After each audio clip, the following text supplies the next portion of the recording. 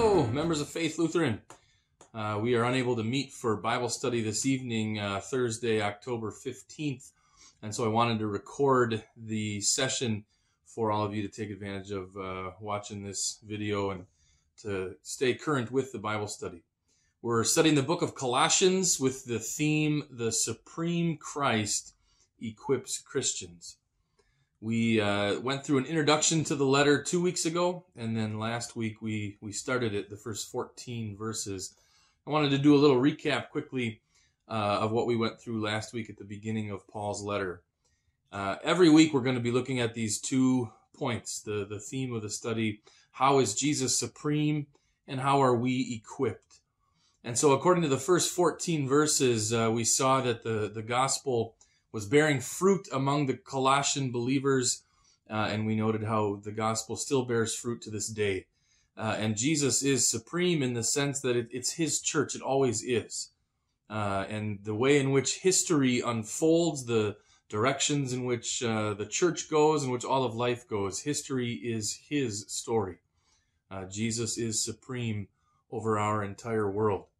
And how are we equipped? Uh, that was really a, a, long list from the very opening of Paul's letter. Uh, we looked at how he prays for his fellow believers and how we too pray for each other. How faith and love spring from the hope that we have stored up for us in heaven. Uh, that the, the, simple fact that there are fellow believers throughout the world. Um, we are not alone in our Christian faith, uh, never pastors and teachers who teach us God's word, uh, still happening to this day, equipping each of us for instruction in our faith. Knowledge of God's will, wisdom, and understanding, which then lead to the next point, uh, providing us with power for endurance, patience, joy, and thanks. Uh, the fact that we are already qualified for God's inheritance and kingdom, and that we are already rescued and redeemed by our Savior. Uh, a really tremendous list of how we are equipped as believers in Christ from our supreme Lord Jesus. Uh, this is how the last section left off. Verses 13 and 14 were told, For he, that is Jesus, has rescued us from the dominion of darkness and brought us into the kingdom of the Son he loves, in whom we have redemption, the forgiveness of sins. And so now we dive into the next part of chapter 1, verses 15 to 29, which begin. The Son, again, that is Jesus, is the image of the invisible God, the firstborn over all creation. For in him all things were created, things in heaven and on earth, visible and invisible, whether thrones or powers or rulers or authorities, all things have, been created through him and for him. He is before all things, and in him all things hold together clearly Paul just launches into these lofty words of praise to Jesus. And we're going to take a look at a handful of uh, particular words and phrases.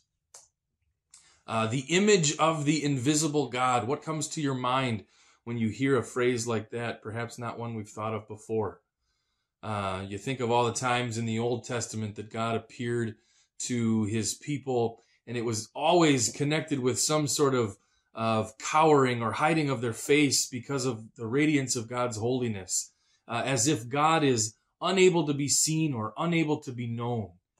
I want to ask you this question Have you ever heard of someone who calls themselves an agnostic? That's a, a sort of a fancy way of just simply saying they don't know whether or not there is a God. If there is a God, he can't be known that it, it would be impossible for human beings to know who God is, even if there is a God in the first place. But what does God's word tell us? John 1:18 No one has ever seen God, but God the one and only or God the only begotten, which is the son of God Jesus, who is at the Father's side, he has made him known. Jesus himself said in John 14, Anyone who has seen me has seen the Father.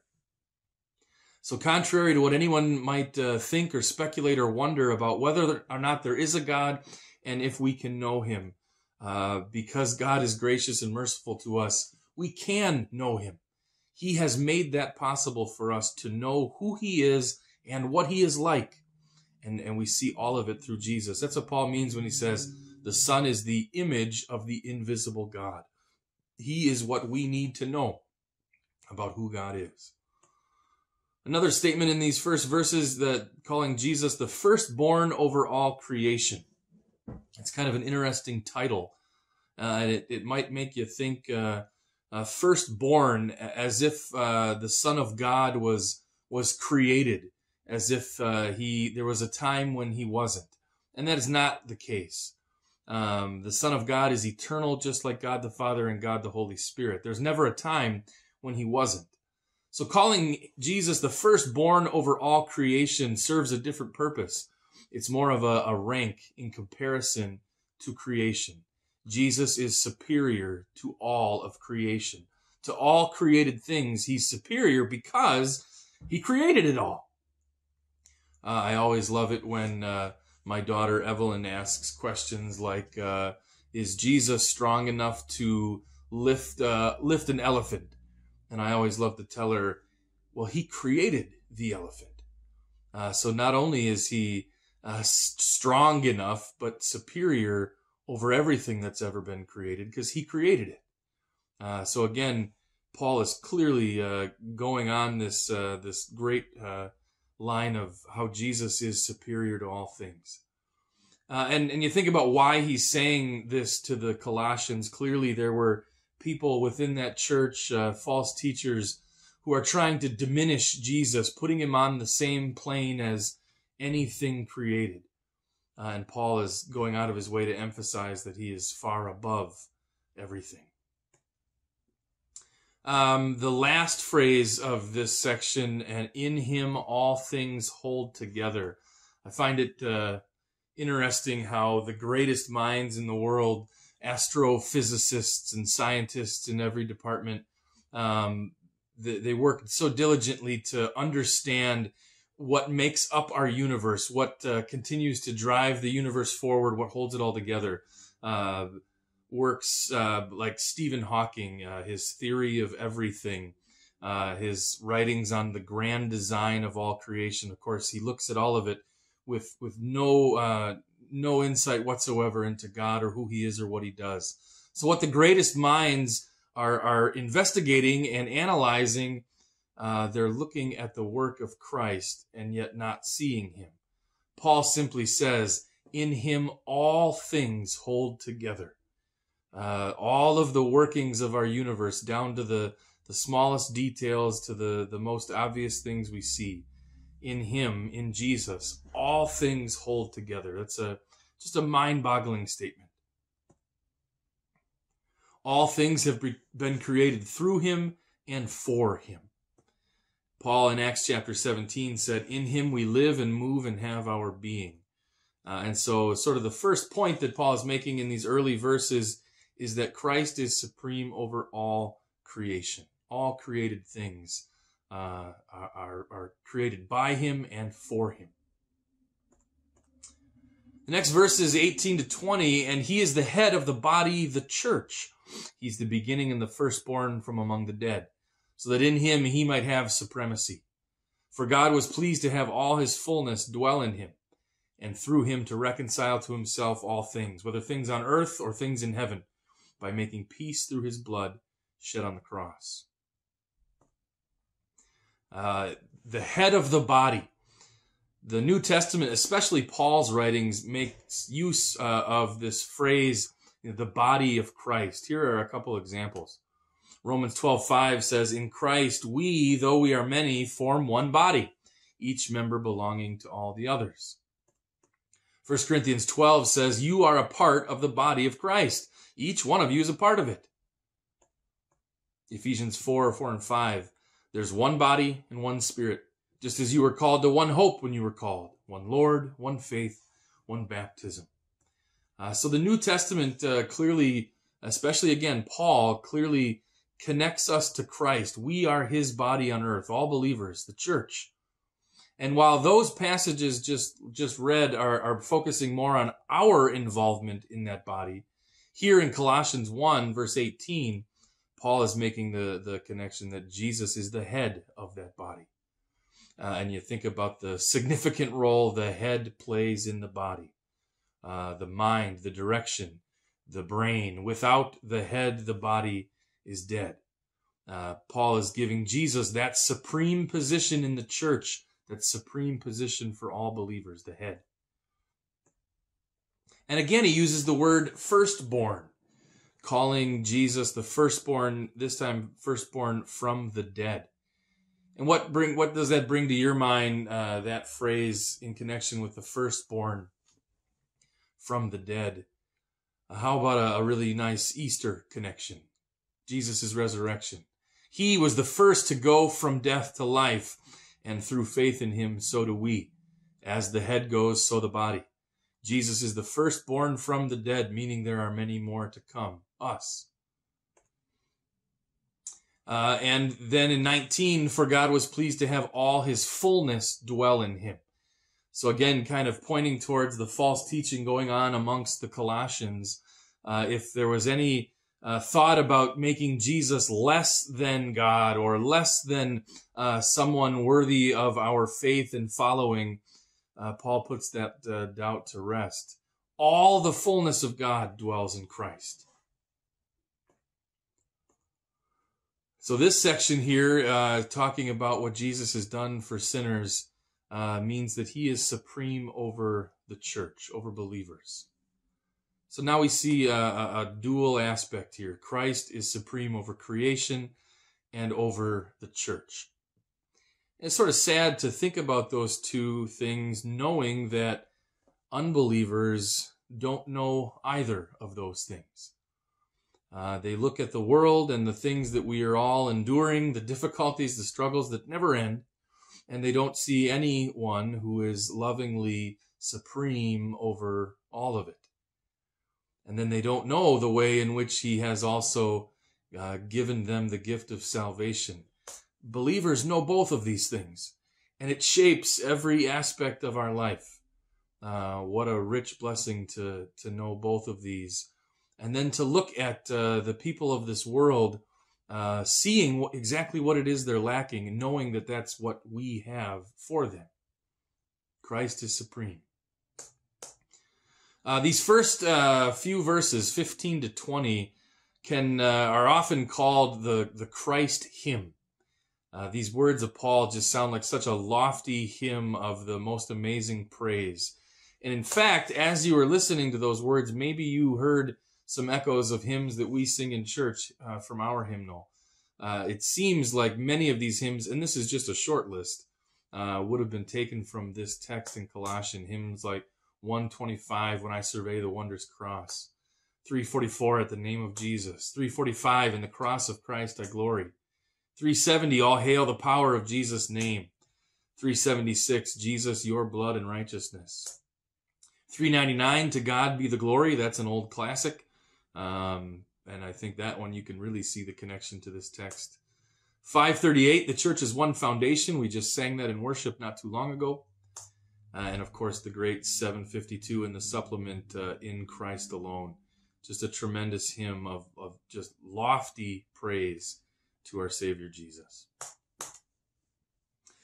Continuing on, verse 21, Paul says, Once you were alienated from God and were enemies in your minds because of your evil behavior. But now he has reconciled you by Christ's physical body through death to present you holy in his sight, without blemish and free from accusation. Imagine sharing this good news with an unbeliever. And just think of the power in the way that Paul says it. The power of the word already uh, that word's not in this text, but in 22, Paul says, but now. And the point is that what Jesus has done is a completed fact. When we share the gospel, when we share our faith, we, we may have these thoughts of how we, we have to try to convince them or we have to try to break down whatever barriers they might have. But, but it gets to be simpler than that. We're simply sharing a completed fact.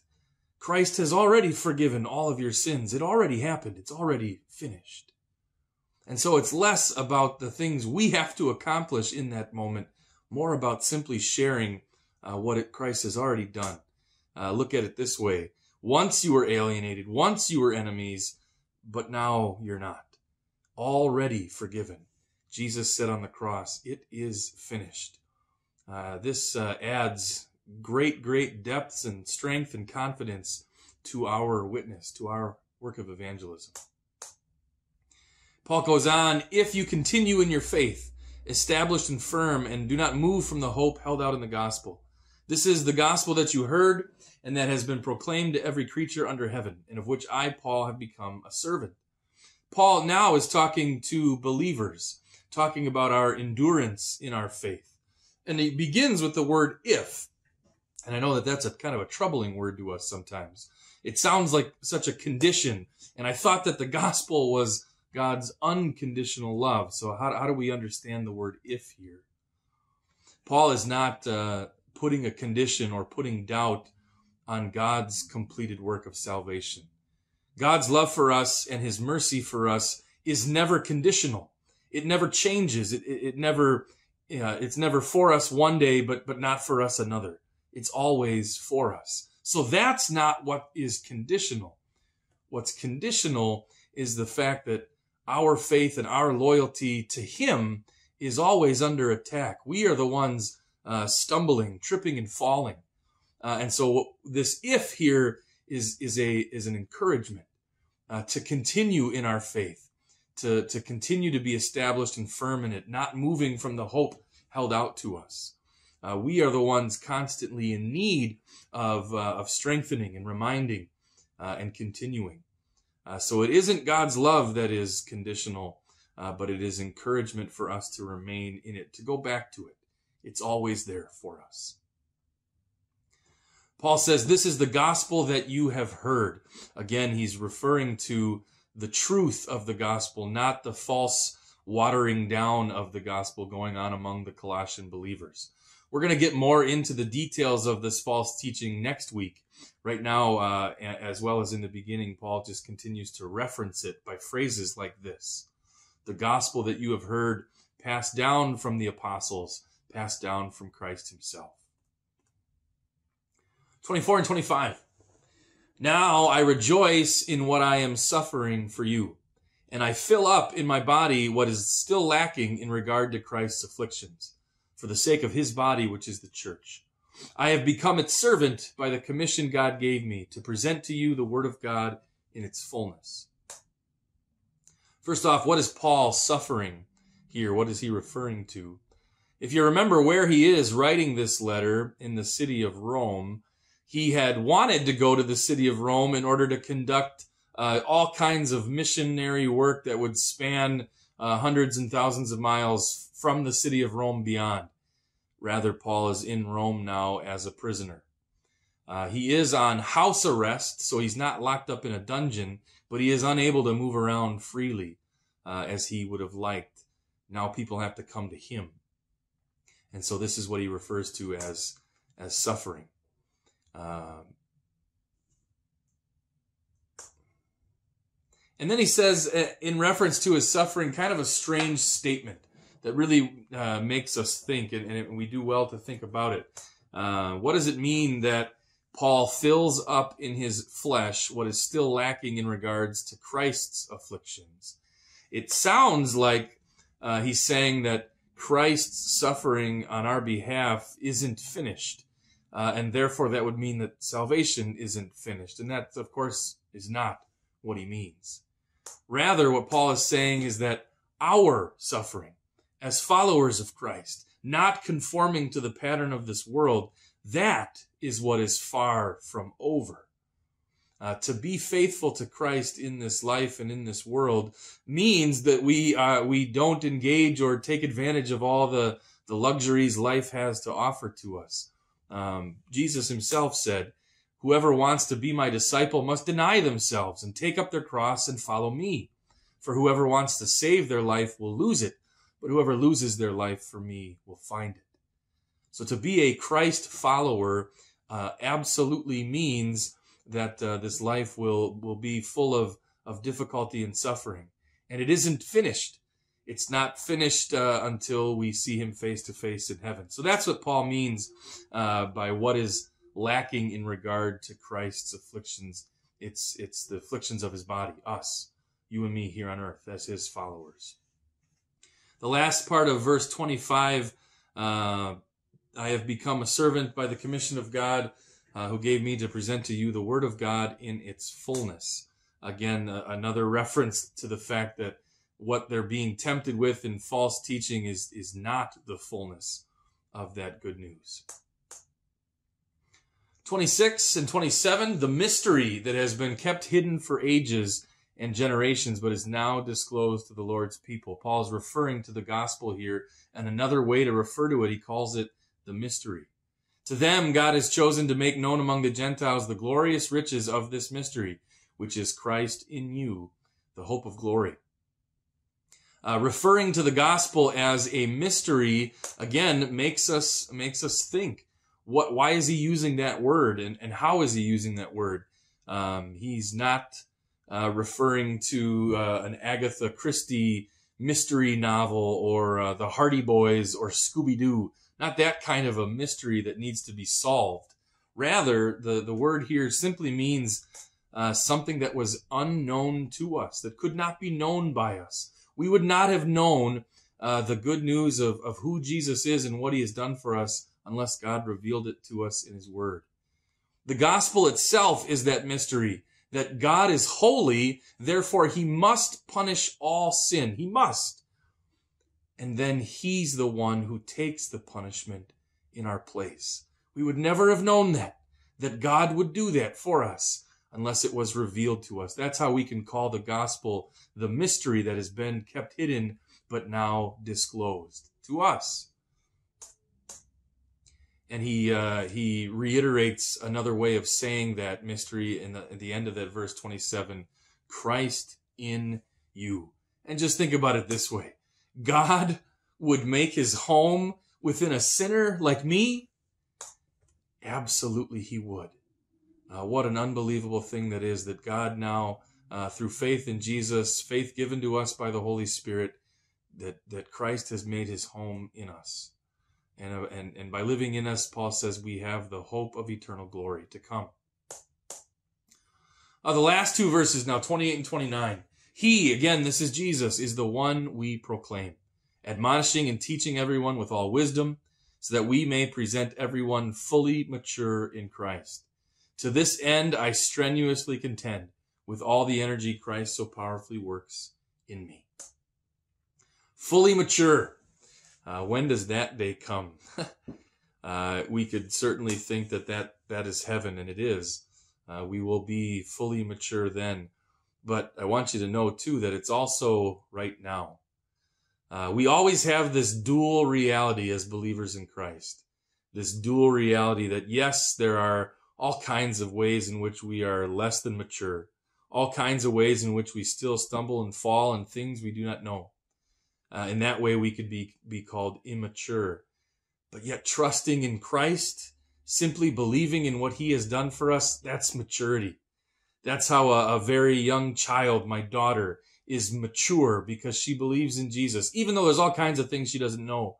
Uh, and just like an elderly believer, uh, trusting in uh, in Jesus is fully mature, even if there are all kinds of things they don't know.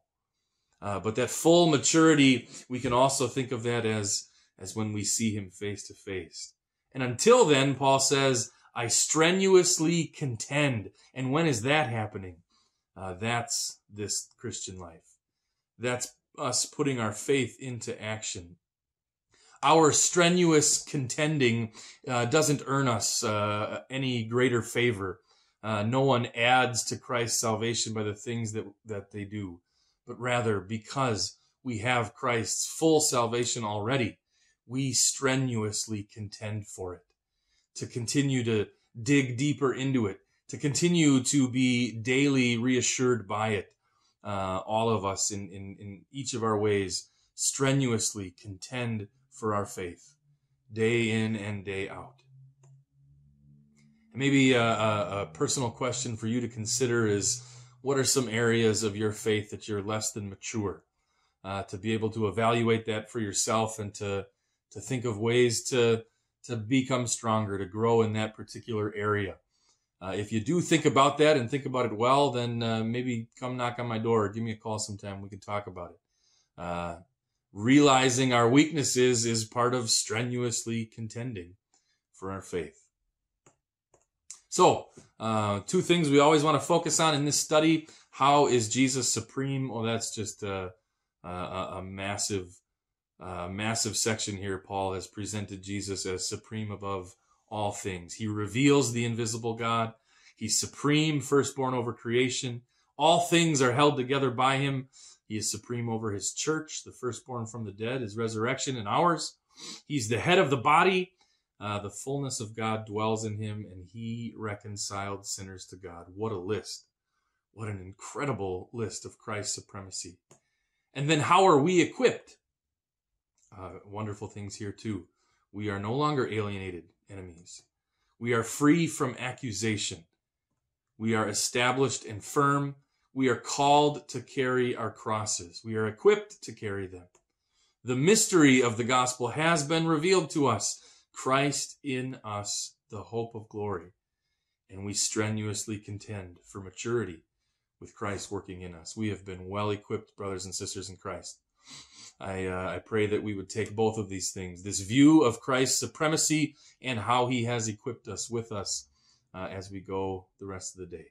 Lord's blessings to all of you. Uh, let's close in prayer. Uh, Lord Jesus, we, we look to you supreme above all things. Uh, help us to keep that view ahead of us uh, as we look at the difficulties of life, of the fears of the unknown, uh, of all the things out of our control, and yet we see you supreme over it all. Uh, and then we see how you have graciously and mercifully equipped us uh, to, to follow you, to continue to follow you as we, we serve one another in all the places and things you've given us in this life. So bless us in our study of Paul's letter to the Colossians. Uh, may we be thoroughly equipped for every good work. In Jesus' name, amen. I pray the Bible study would be a blessing to you. Please let me know if there's anything uh, you would like or need, resources, documents, uh, whatever I can do to help you dig deeper into God's Word. I, I want to do it. So, talk to you later. Thank you. Bye.